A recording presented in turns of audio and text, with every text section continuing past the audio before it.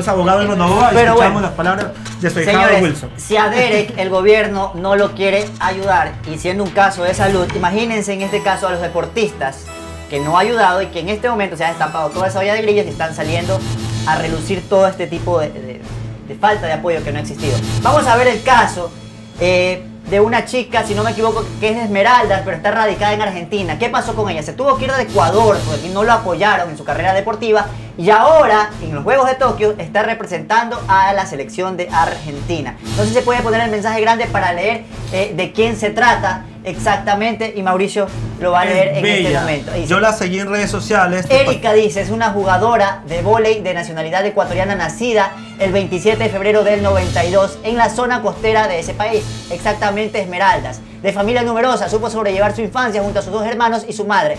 En la actualidad milita en el vóley griego en el Marco Polo y el dato que sacudió su presente es que excedió lo deportivo.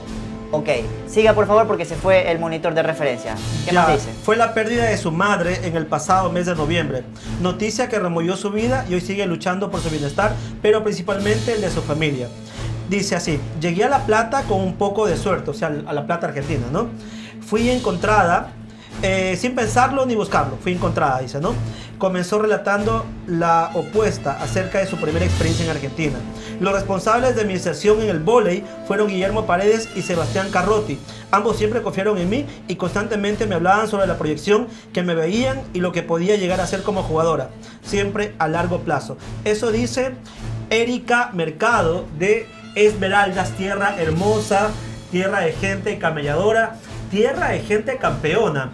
Es más, eh, portales internacionales titulan la noticia así, dice, hay una, hay una deportista casi desconocida de Esmeraldas, compite en Tokio, pero por la selección argentina. Dice así, yo lo vi, a mí nadie me lo contó. A propósito de lo manifestado por Richard Carapaz, aquí otra historia.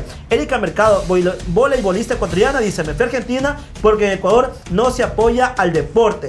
Erika Mercado tiene 27 años y es esmeraldeña, pero ahora ha visto los colores de la selección albiceleste de voleibol tras recibir la nacionalidad argentina.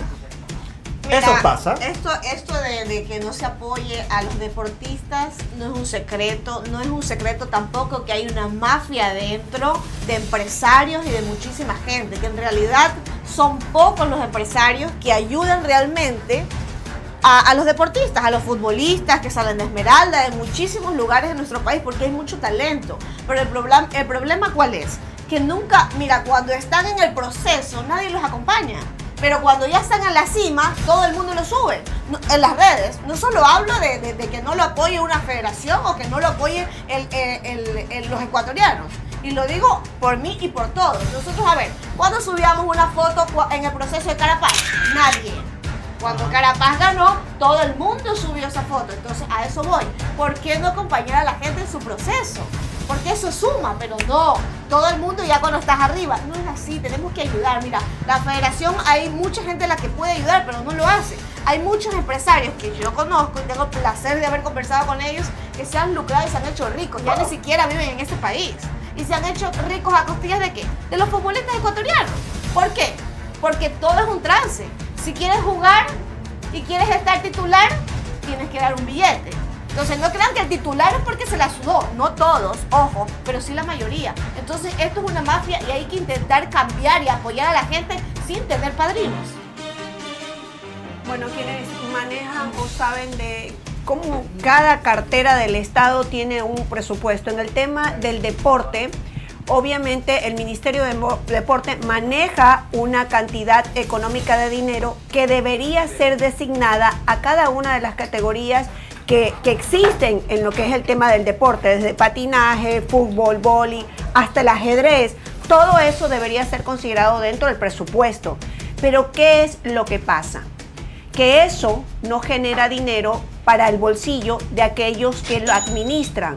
Entonces, ¿qué es lo que hacen? Lo contrario, en lugar de apoyar a cada uno de los deportistas para seguir adelante, a cada uno de los clubes, de los más chiquitos, no, ellos construyen canchitas, ellos construyen eh, parques, ellos construyen diferentes cosas, compran diferentes artículos. ¿Por qué? porque en, en cada una de esas transacciones económicas hay una utilidad para ello, hay un contrato que se van para ello, desde uniformes, desde cosas. Entonces invierten el dinero que debería de ser para incentivar al deportista, para apoyarlo, para que tenga, para que surja, no, va al bolsillo de unos cuantos con las supuestas construcciones que se hacen. Eh, hace, esto no es de ahora, esto es de toda la vida. Esto es un mal vivir de mucha gente que viene. Por eso se pelean ese tipo de carteras para estar ahí y poderlo mover. Yo fui parte de la selección ecuatoriana en básquet. Eh, nosotros nos tocó viajar a Brasil por Uruguay y teníamos que costearnos nuestras mismas cosas para poder ir, ir representando al Ecuador. ¿Por qué? Porque los clubes estaban construyendo canchas en las diferentes partes. ¿Por qué? Porque esa construcción generan dinero para ellos. Y eso no se ha acabado y no se va a acabar hasta que realmente alguien no quiera hacer las cosas bien, alguien quiera hacer las cosas diferente. No es el tema de Carapaz, no es el tema de la basquetbolista, no, es el tema general.